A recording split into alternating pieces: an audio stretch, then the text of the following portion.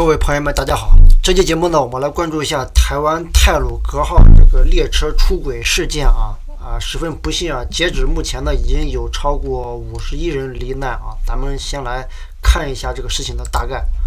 这是事故现场拍摄的照片啊，有些已经是马赛克了。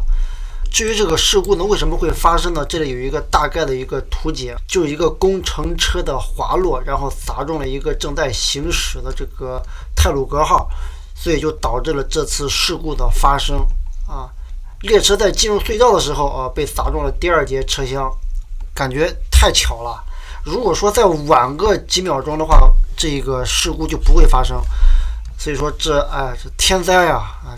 像这一次事故是台铁四十年来最严重的事故，目前已经导致了有五十一人死亡，一百五十六人受伤。那在这里呢，我们能够看到，就是在当地已经是调集了非常多的这种各种资源啊，对这些受伤的患者进行医治啊。为什么说这一次事故是四十年来最严重的事故啊？这里也是稍微列举了一下啊，以前曾经发生过的一些事件，比方说一九八一年的三月八日，曾经有列车撞上这个砂石车，导致三十人死亡，还有。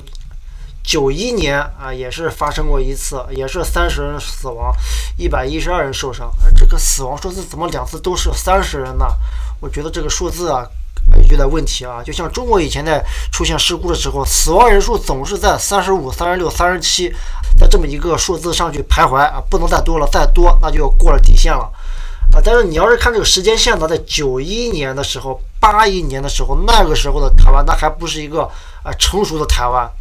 这一次事故截止目前已经有五十一人死亡，那真的就是属于四十年来最严重的事故啊！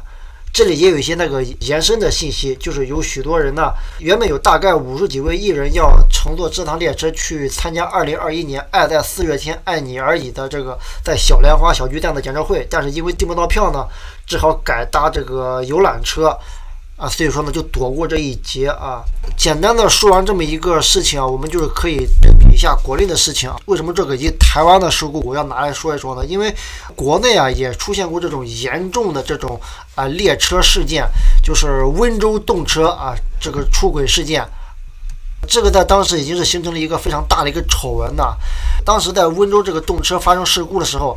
当地的官员为了保住自己的乌纱帽，啊，赶紧就是下令赶紧掩埋呀，啊，销毁证据呀，试图想去大事化小，小事化了。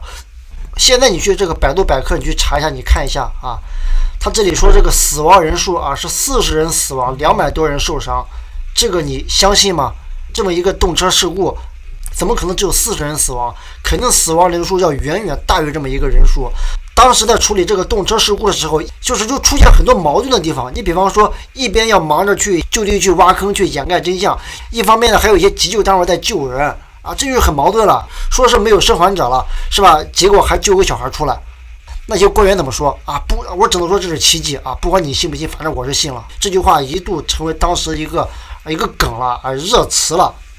那么对于这次台湾泰鲁格列车事故，我最为关注的是什么呢？就是就是官方他对于这种事情处理的态度啊，呃，这就非常明显的能够比较，就是说你没有对比就没有伤害啊。你要是看台湾的官方他们在处理这件事情的时候啊，不惜一切代价啊，不管是医院还是各种什么啊急救部门啊，还是什么应急部门啊。就是要调集一切的资源去处理这个事故啊，尽可能的去啊多挽回几条人命而过来，这是我们所能够看到的台湾当局啊他在做了一些这个动作啊。那么你要是对比国内呢这一块呢，好像就是说。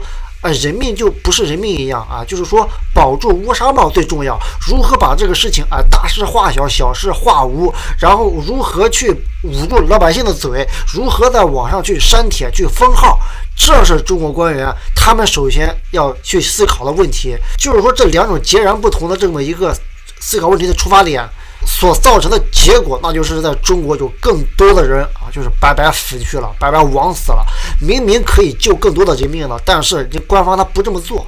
那你说有些人本来能够救活的，结果就没救活，那多冤枉啊！那你要说这个问题，其实哪里都有问题，你台湾也有问题。而且我作为一个非台湾的一个媒体，我在聊这么一件事情，也算是对台湾当局的一种监督吧。我相信很多台湾人，他们此时此刻比我更热切的希望啊，官方他们在面对这件事情的态度。比方说那个工程车为什么能够掉下来，是因为什么原因啊？这是谁的责任？这只是一次事故，还是因为某些不遵守那些什么标准作业模式所引起的事故？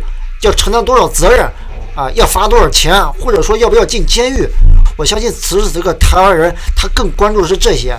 我我相信这件事情的最后的真相也能够啊水落石出。这期节目呢，咱们就聊这么一个事儿啊，感谢大家的关注。